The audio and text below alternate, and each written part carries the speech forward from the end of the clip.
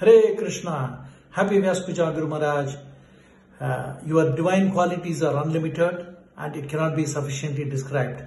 One aspect which comes to my mind is during the year 2019, uh, mid 2019, you said that uh, you were encouraging me to have a, a Zoom account for hundreds and hundreds of uh, people so that we can preach online. I was just wondering what is the point of uh, me doing an online because I was not much exposed to it. Uh, but anyway, since you are encouraging me, I also took an account.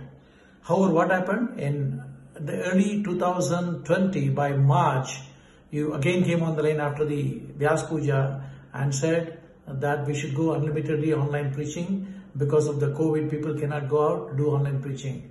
So this quality is of visionary. You are a visionary as a leader. You are a visionary.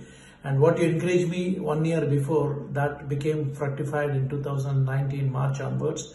And until today, every day we are using this account for at least two classes a day minimum. And we've also had the fortune of getting so many of your godbrothers and various sannyasis being online with us and give us their association. We have had your association many times. We are very so that's a visionary quality of yours. The other quality which I remember Guru Maharaj that Krishna in Dwaraka was extending himself into 16,108 palaces.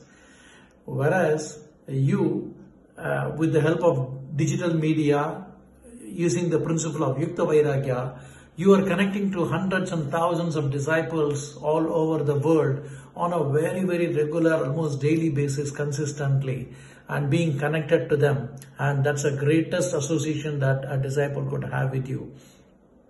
The other thing in Chennai which we experience is your surrender to Krishna. Of the 26 qualities of a pure devotee of the Lord, one of the most important qualities is surrender to Krishna. Uh, during the health crisis time, you are completely surrendered to Krishna.